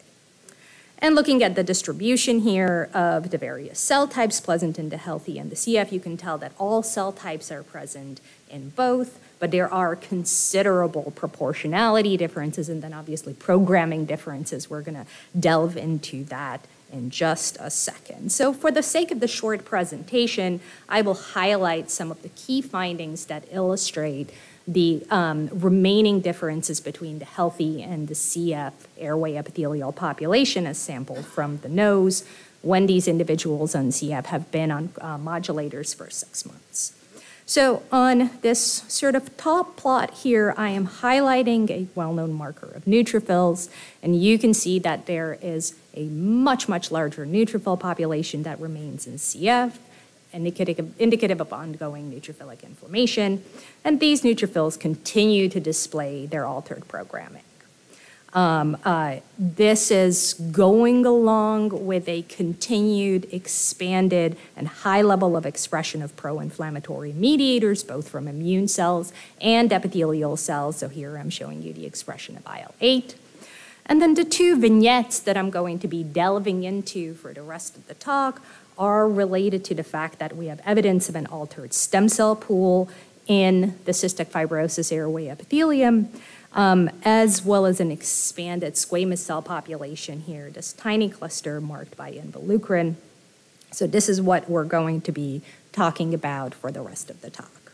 So the first thing that I want to put out there is that we um, are sort of trying to tease apart evidence for a compromised stem cell population within the CF sinonasal airways, then obviously this would have big implications for any tissue, but especially in the context of certain types of gene therapy. And this is sort of how I think about the stem cell population, because it's not just a basal cell, it's a basal cell that's a member of a stem cell population. And the way that you can think about it is that any stem cell pool is composed of cells in different cell states. And what's critical about it is that there's likely an optimal ratio in which cells that are resting, proliferating, and differentiating are maintained in order to maintain homeostasis and function to avoid disease. And there's already um, uh, good evidence from disease states that there is abnormal heterogeneity, an abnormal ratio of stem cells within these three states that may characterize disease and may fuel dysfunction within this tissue. And there's already evidence of this happening in CF. So this is a beautiful image from Carraro et al. in 2001. This was a single cell sequencing study that was done in um, terminal airways in CF. And this shows the conspicuous absence of PCNA positive proliferating progenitor cells within these end stage lungs, which was first detected through single cell sequencing. So similarly, um, uh, we wanted to look at the stem cell populations within the sinonasal um, transcriptomes that we have. So this is reclustered only to show our um, uh, um, epithelial cell populations with ignored the immune cells. And here you can see um, CF and healthy overlaid on top of each other are resting, proliferating, and two differentiating clusters of basal cells. And just very briefly, um, we sort of enumerated and compared the proportion of these um, uh, basal cell states. Here you can see the healthies and the CF. And then out of the approximately 40,000 basal cells, you can see that the CF samples contain much, much fewer basal cells. And this was normalized to the total number of basal cells that we um, acquired within these samples. And then now when we broke them down into the um, different subclusters of basal cells that were identified, this is already a good hint that there is altered heterogeneity in these airways. Um, uh, for example, we see numerically fewer, but proportionally slightly more proliferating cells in this case. Um, uh, also, an expansion of these differentiating cells, potentially indicating ongoing injury repair. Obviously, transcriptomics are a hypothesis generating tool. We need to um, continue to validate this experimentally. So we are very interested in um, and actively trying to collect the appropriate samples to validate these findings. Now, we've looked at the numerical composition. The next thing that we wanted to understand was programming of these basal cell clusters. And what I'm showing you here in these tables are the differential gene expression when we're comparing healthy and the CF counterparts for the cells that belong to these different basal cell clusters. And what you can see here is that um, uh, these basal cells in CF remain um, very strongly pro-inflammatory um, uh, and um, uh, displayed altered metabolic programming. So the idea here is that um, uh, the basal cells isolated from uh, CF after ETI did not function as well um, uh, as healthy basal cells in primary cultures. These are the data that I showed here from earlier from the other cohort. Um, and again, this may have considerable implications for when and in what stage of the disease it may be worth um, uh, applying corrective gene therapy to these cells. So the next population that I want to draw your attention to are the squamous cells of the airway epithelium. This is the small um, uh, cluster right here um, in blue. Um, it's, it's a rare cell population that they're not um, ionocytes. Um, uh, but rather the squamous cells, which the previous speaker very nicely introduced. So these are cells that are characterized by markers of epidermal gene expression, immunomodulation, and cell-cell and cell substrate adhesion. Um, uh, they're, they're kind of well-known markers are a variety of cytokeratins, um, the epidermal differentiation complex, involucrin, and um, uh, I want to highlight these are not skin, these are not cancer or precancer. Um, rather, they are reminiscent of these keratin 13 positive hillock cells that have been previously identified in the mouse and the human lower airways. And the idea is that um, they are potentially a reservoir of highly proliferative, undifferentiated cells that may be needed for repair, but their functions are not absolutely clear. And my goal here is to um, understand whether these cells are friend or foe within the uh, CF sinonasal epithelium. And one of the reasons why we're motivated to ask this question is because um, they're about fivefold expanded um, uh, within the, squam uh, the squamous population within the sinonasal data set that we have. Um, their programming is highly pro-inflammatory on top of the um, immune processes these cells may already participate in. And although I don't have the um, full data here, these cells um, kind of bear the sort of most apparent um, kind of transcriptional senescence burden in the data set. So this led us to speculate that these squamous cells in CF um, may be expanded in areas of the airway epithelium that don't contribute to mucociliary clearance, but could be um, potent sources of pro-inflammatory and potentially senescence-associated signals.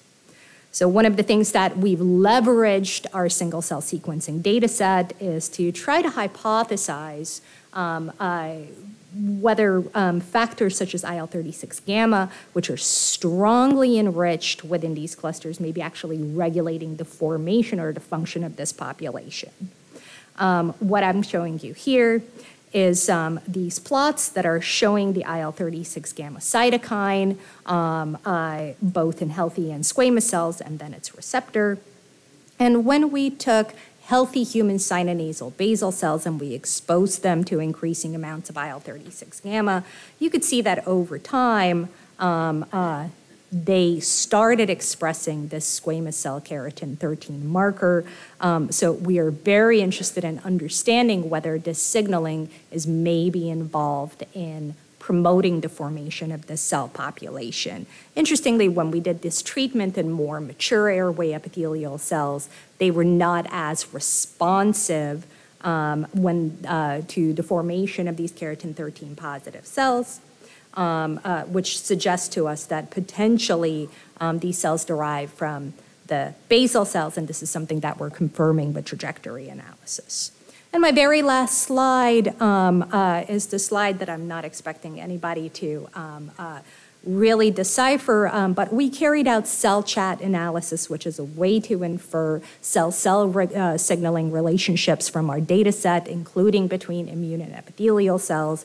And we have um, uh, identified a lot of key um, uh, cell signaling relationships that um, include developmental signaling pathways like Wnt and Notch, um, uh, immune cell signaling pathways, um, as well. And then we're hoping to use the primary culture model in order to pick apart these mechanistic details. So um, uh, very clearly, what I've shown you here is that there is a considerable improvement of chronic inflammatory remodeling in the sinonasal epithelium um, that we can see both structurally, functionally, and transcriptomically. It's a highly heterogeneous response.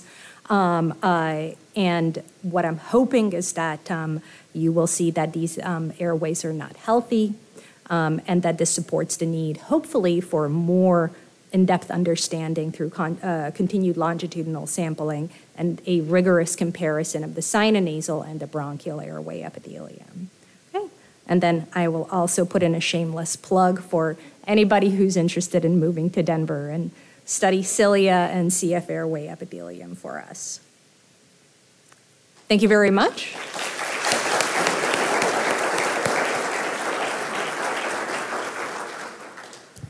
Thank you so much. Please don't go away. And I would also invite all the other three speakers to come here to the table. I think we should get some chairs. Yes. And I'd love to have microphones. So we have a few questions on the online app, um, and then um, you know feel free to also raise your hands, and we'll accommodate your questions as well.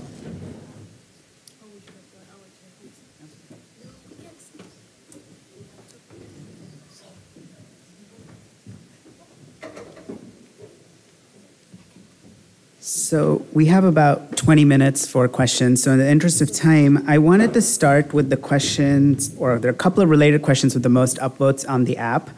Uh, so the question um, that I'd like to get started with is, most of these talks talked about, most of you talked about, um, you know, this uh, changes uh, in regeneration or uh, cell function, both in fetal lung development and in wound healing right? And uh, the question I was wondering about, and it's come through in some of these questions, is what are these, how do these defects come about, right? So do we have a sense of the cellular location of the increased CFTR?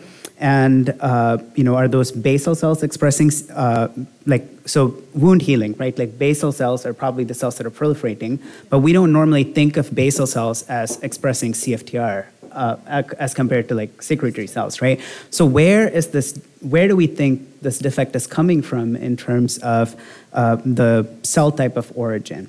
Uh, and along those lines, there was also a question about, you know, are mesenchymal cells somehow also uh, expressing um, CFTR, and is that somehow uh, important when you're thinking about fetal lung development? So it's a lot of interrelated questions, but I think uh, they're all related, and uh, you know, and, and I can repeat sort of subparts if necessary. But I thought this would start off the discussion well.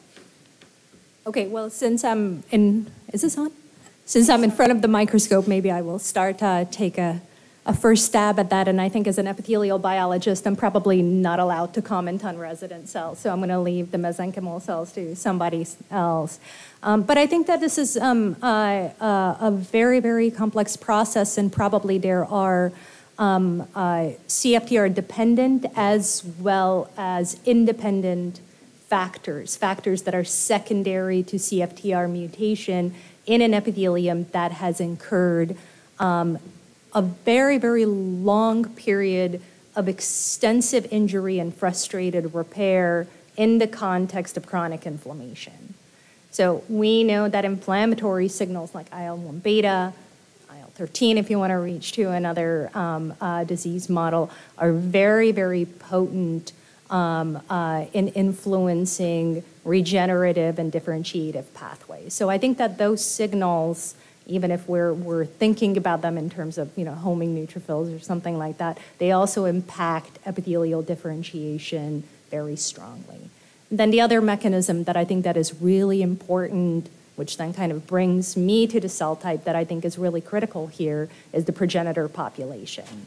Both in terms of the programming and the composition of these cells, I think that there's evidence that um, uh, ongoing repair um, will alter the proportionality and will eventually compromise the stem cell pool, which is as we think of it as likely a finite source.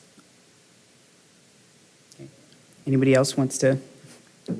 I mean, I would say from the the fetal lung studies, um, I don't think we know which cell types those are or which cell types they're going to become. Um, Obviously, single-cell sequencing would be very helpful for this. Um, The other issue is, you know, what are those CFTR cells doing? Is it simply a fluid secretion phenomenon? It's mechanotransduction at the sort of leading edge of that bud? Or is the CFTR positive cell talking to some other cell in a mesenchyme? We don't really know.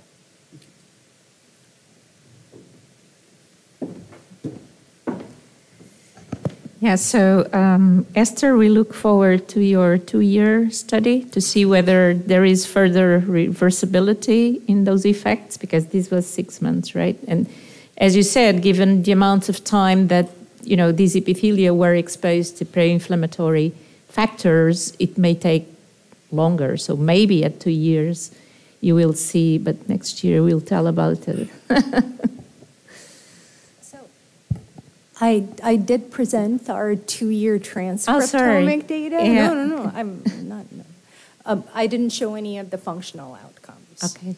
And the, the bottom line of that is that the clinical sort of cohort level take-home message is that there's sort of um, uh, kind of stable clinical outcomes from that six-month to two-year period. But very interestingly, transcriptomically, we see in about half of our subjects um, uh, what we sort of call a, a reversal. We see those same inflammatory pathways coming up. And then when we kind of broke down and correlated those transcriptomic signatures to the actual patient level clinical outcomes, we could see a correlation. Right. So potentially we're seeing um, some sort of regression that may be happening now. That's actually unclear whether that's going to really translate into um, uh, worsening clinical outcomes. Right. That's, That's maybe that's year three. Yeah, yeah. Yeah. So, David, uh, I thought your presentation was really fascinating, but I, I have a question. Maybe you'd like to speculate. So, why you think, uh, speculating, um, the tracheal malformations are not reverted when you do the IVA in uh, vitro, in utero, sorry. In utero, um, could it be you should do it from the moment they're pregnant, day zero, day one, or do you like to Yeah, speculate? so, so we haven't done that study. I mean, Yeah. it would be relatively easy to do, um, starting ivacaftor early. You know, we picked that day 35 time point because that was the, you know, the impetus for feeding the sows ivacaftor was to prevent the meconium ileus. Right. When we look at the appearance of meconium ileus in the CF fetuses, it's coming on sort of early day 30-ish. So that's why we picked the day 30, uh, Right. 35 time point. Um, I mean, I think it suggests some programming has occurred at an amazingly early stage that for whatever reason is irreversible. I mean, it's, you know, it's interesting because if you look at, you know, if you take a piece of trachea from a non-CF and a CF newborn pig and you just sort of look transcriptionally, there's not a whole lot of differences Right. despite the fact that structurally it's very abnormal appearing. And so something has happened at a very early time point in utero that presumably is not reversible. I imagine if we started earlier, we could mm-hmm. reverse it. Or another possibility could be that the level of correction is not enough for the tracheal malformations, which are still good for the other ones, right? Sure, yeah, that's possible, yeah. So, sorry, I didn't mean to. yeah. Question for that. How far are the budding at day 35? Is it what would be corresponding to the tracheal rings at that point of developmental? Yeah, I don't know exactly how many buds are present, but there are some already. Yeah, so it, it's beyond trachea. Um, and we actually don't have tracheal measurements at day thirty-five because the trachea is very fragile then and was difficult to sort of study. Right. That- That's why the tracheal measurements I showed you are at day.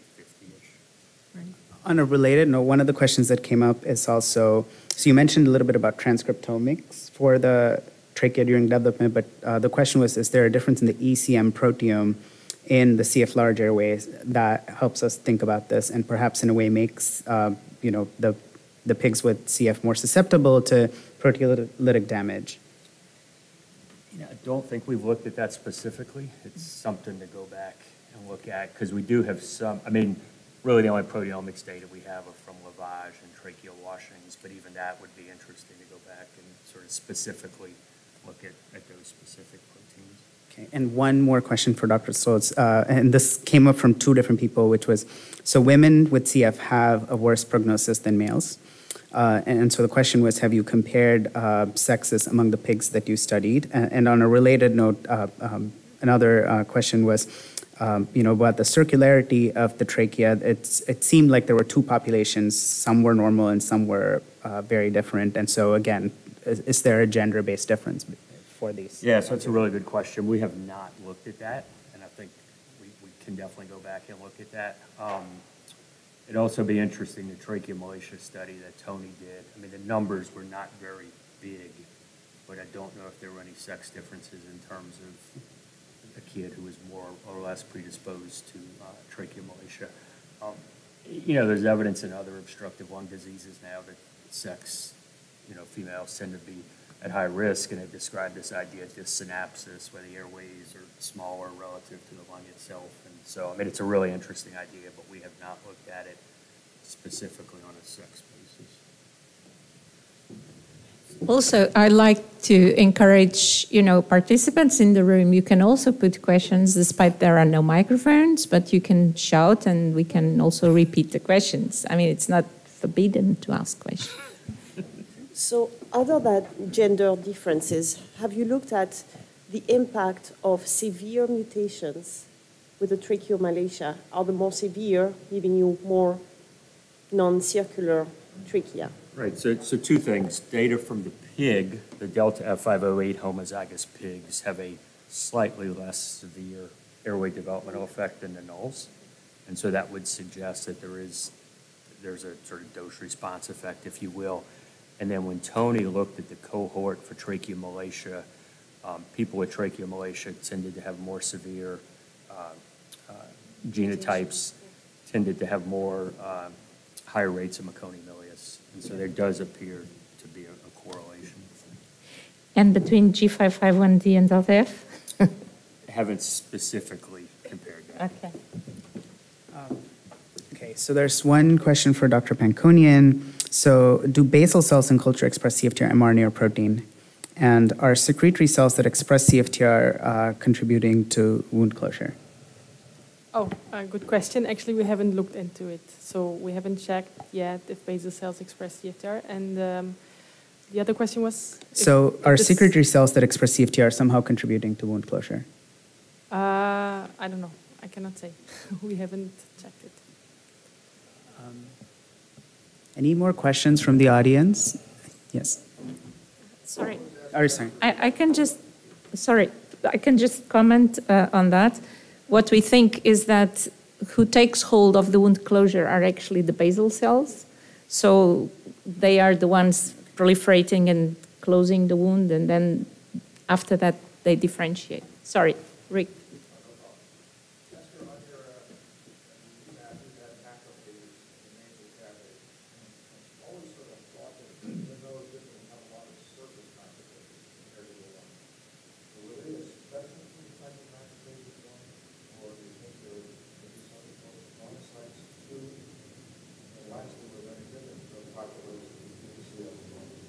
So um, the answer is yes, their programming is definitely different between healthy and CF. One thing that, um, uh, sorry, one thing that um, did not prove to be very fruitful is to compare the DEGs between those nasal macrophages and the sort of um, recruited and resident macrophages um, that are sort of being characterized in the human lung right now. So it hasn't really been very successful to try to identify them based on what's already sort of characterized in the lung. So we're kind of right now trying to characterize them sort of a little bit more agnostically. Um, as far as the submucosal origin, um, I don't think we recovered any submucosal um, gland located cells. We don't have any um, submucosal gland. Uh-huh. You mean that they would migrate out? Uh-huh. Correct, yeah. So, as in recovering cells that would reside within a submucosal gland, I know we didn't do that, yeah. Mm-hmm.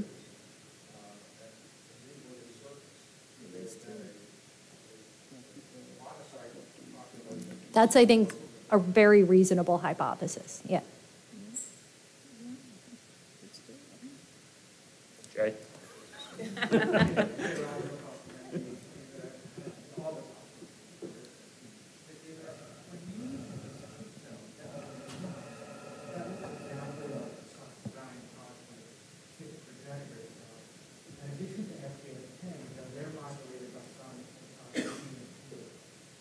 first part of my question is, do those have any effect uh, on CFTR expression? So we have not tested that. It's the simple, but you're right, it's, it's, yep. The other thing is, in the laryngocritic group is happening much earlier. You know, we've never been able to say how that biology is different from the financial trip. But Jin Sung has shown this reciprocal signaling between the epithelium, the cartilage, and the smooth muscle. And you look like you had less smooth muscle, and it, it just suggests that there might be some epithelial CFTR expression that's affecting cartilage lymph nodes. I don't know if you looked at that. You know, we haven't, I mean, that study's difficult, you know, people had talked about doing sort of that type of study in a mouse, right? Because you could chondrocyte, smooth muscle, epithelial. I don't think any of that has ever been published to try and figure out who's responsible. Um, Right. Um, But yeah, I mean, you know, sort of the best we could do would be staining, right? That's- Go ahead. Go ahead.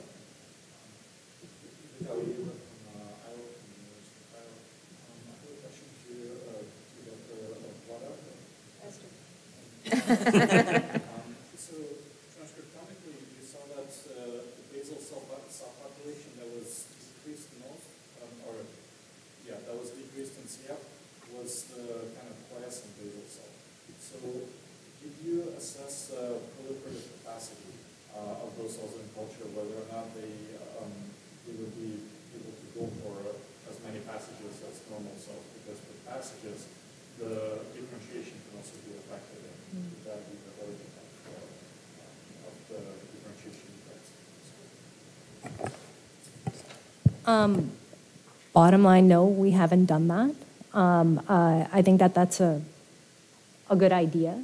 Um, One thing that's really important to note is that cell culture media in that case would be really critical because most of the way we culture ourselves that they're, they're very, very much pro-proliferative and then very pro-differentiation that may erase those signals. I mean, the way that I interpret what we see from the single cell is sort of an actively reparative population. This is why we see more of these proliferative and differentiating cells, which then um, uh, potentially leads to this, this compressed resting basal cell.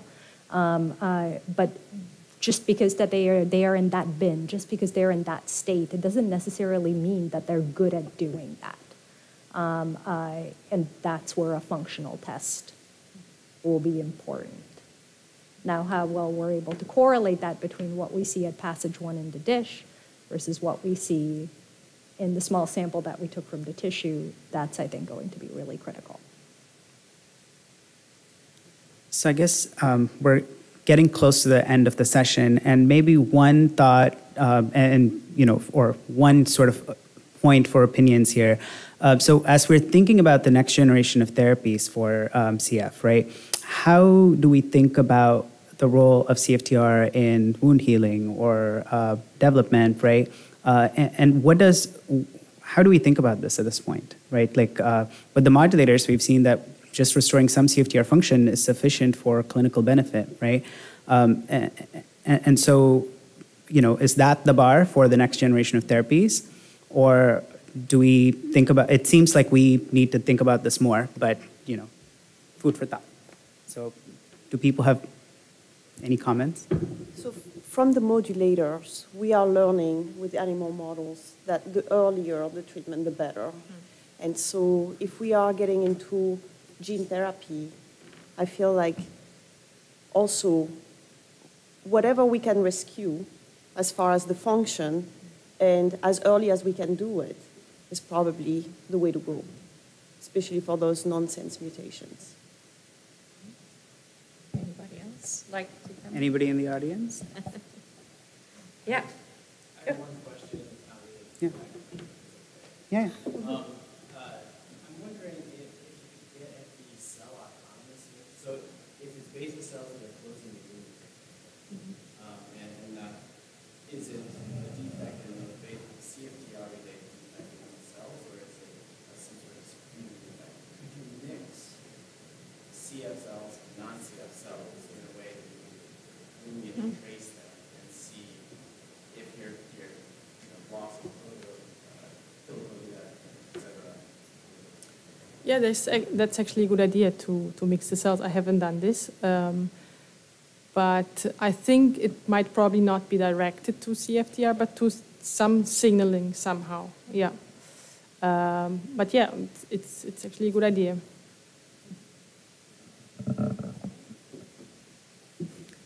Okay, so I want to thank all the presenters for the excellent talks we had this morning, and also the audience for the questions, and of course, those questions that we got through um, the app.